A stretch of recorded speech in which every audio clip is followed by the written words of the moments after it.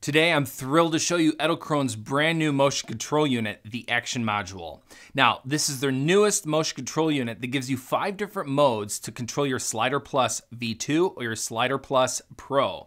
Now, in this video, I'm gonna show you exactly what comes with the Action Module, how to put it together. I'm gonna show you the different modes, some examples from those modes. Then I'm gonna wrap it all up and tell you what I think. So, stay tuned. So when you open up your action module, you're gonna find that it's really, really well packed into this box here, and you'll have a really generous amount of foam protecting it in that box.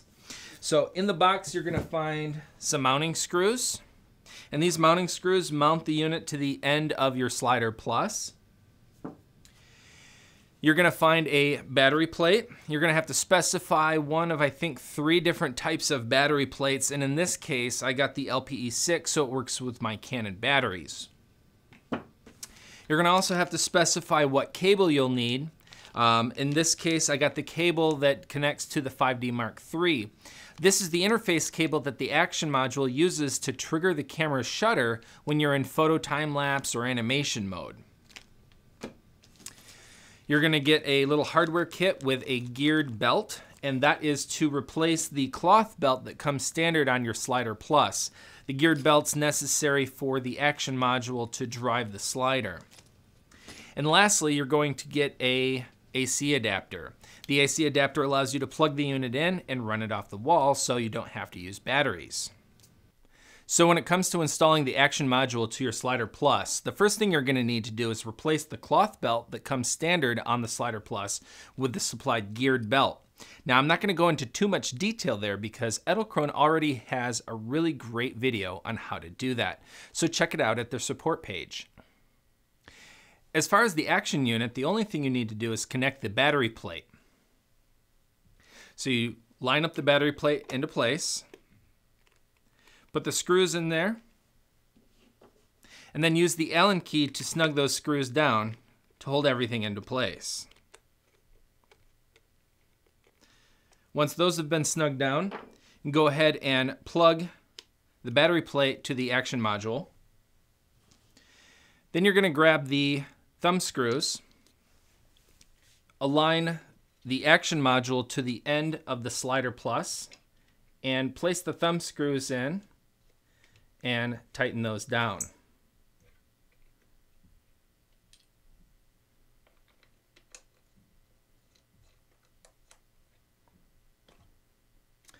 Once that's in place, you can grab a battery, lock it into place, and now you're ready to shoot. We're going to go ahead and start off with the wizard mode. To select the wizard mode, you'll press straight down on the joystick and you're going to move the carriage to your beginning position. To start the recording process, you're going to press down and hold until it starts blinking record. You're then going to move the camera carriage to your ending position.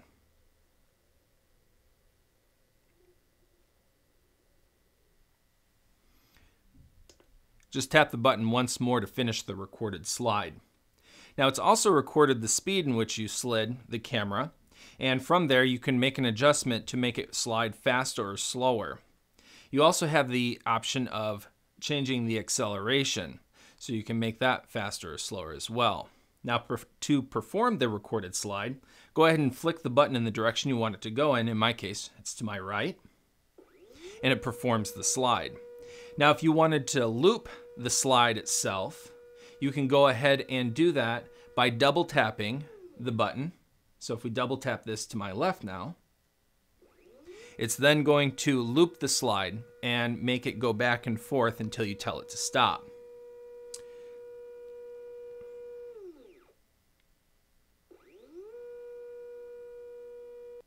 And that's the wizard mode.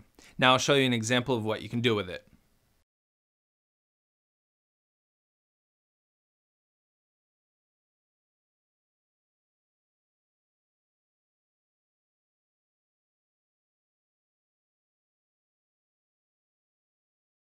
So now we're gonna take a look at the photo time-lapse mode. And for this mode, you're gonna need the shutter release cable. And that plugs into the action module and then into the camera. Now, you're going to select the photo time lapse mode by pressing straight down. Now it's asking to get it to the end point.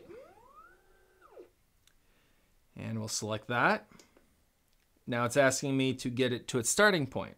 And you're just using the joystick to move the slider left and right to find your positions. So we're gonna go ahead and select that. It's gonna ask how long we're here. So in this case, I'm just gonna say five minutes.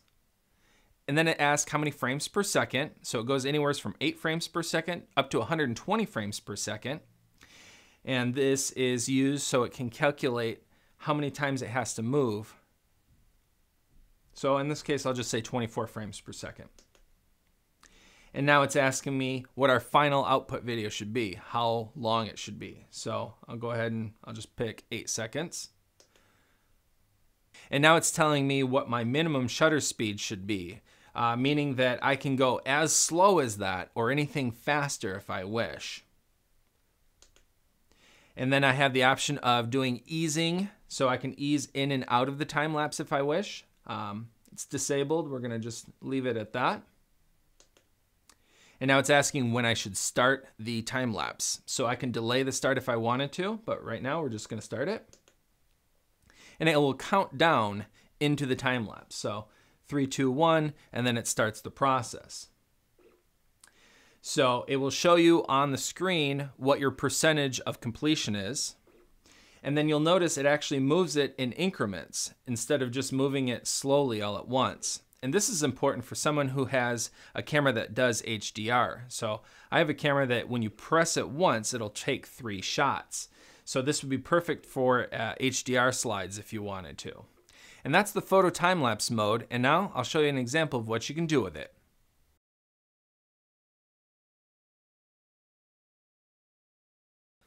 Our third mode is the video time-lapse mode. So we'll select that. The first thing it'll ask you is where it's going to end. So you're going to use the joystick to find the end point. Select that. Now we're going to find the start point and then select. It's going to ask you how long we're going to be here. I'll say for this example, five minutes.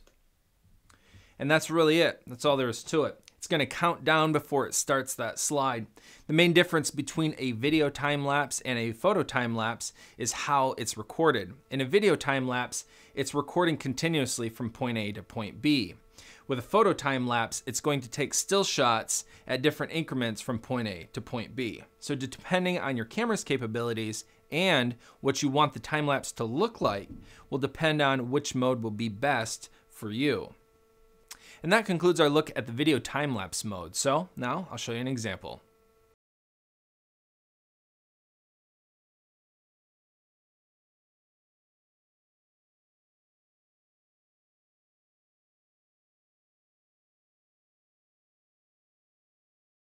So the fourth mode is your stop animation mode. So we're gonna go ahead and select that. The first thing it'll ask you is to get it to the end point.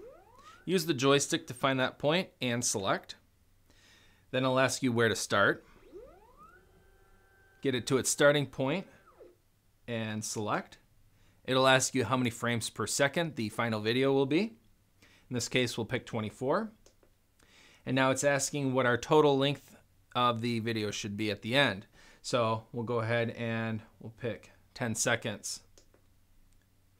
And you have the option of selecting ease in and out, but we'll leave that disabled for now. Now it will display the total number of frames and what frame you're currently on. So you can animate your subject, move to the next frame, animate the subject, move to the next frame, and so on. And what's cool about this is that you can go back and forth through those frames. So if I wanted to go back to frame number three, I just move the joystick to find frame number three.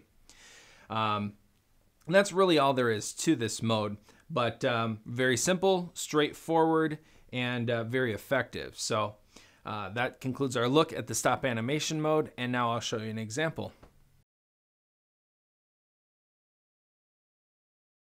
The final mode is going to be the macro mode.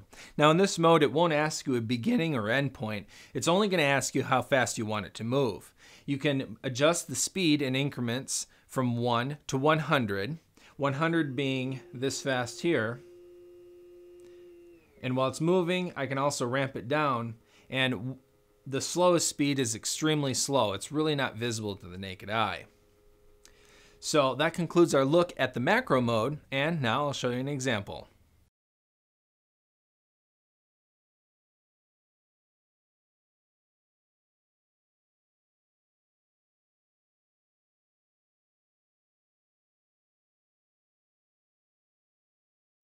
So after shooting with the action module for a few weeks now, I can tell you that it, along with the target unit, will be a regular part of my video shoots. So what do I like about it so much? Well, it starts with the way Edelkrone packs their products. When I received the action module from the shipping company, they had managed to crush the shipping box despite the fragile handle with care sticker. Now inside I found the action module perfectly protected by the thick padded foam, so no harm done. I was impressed with the battery life. Now I was able to shoot all day with just one fully charged battery. I fell in love with the simplicity of the menu system, just a few minutes out of the box and I had it down. No math, no calculations, the unit really does it all for you. Now lastly and most important, I was impressed with just how well the action module performs. Each mode works just as expected without compromise. The only issue that some people may have is the noise that the unit creates while it's in operation. Now for me, I'll mainly be using it for B-roll, time-lapse, and animation where sound really isn't an issue. But if you are planning on using it for interviews or during sound recording, take a look at my noise test video that I did on Edelkrone's Wizard and Target module. Check for the link below in the description. But basically, I found that with proper mic placement, the noise was really well controlled, as long as you're not using the camera's built-in mics. The Action Module is a solid addition to any video kit, and I totally recommend it for anyone looking to bring their Slider Plus up to the next level. So, that concludes our look at the Action Module from Edelkrone, and as always, thanks for watching.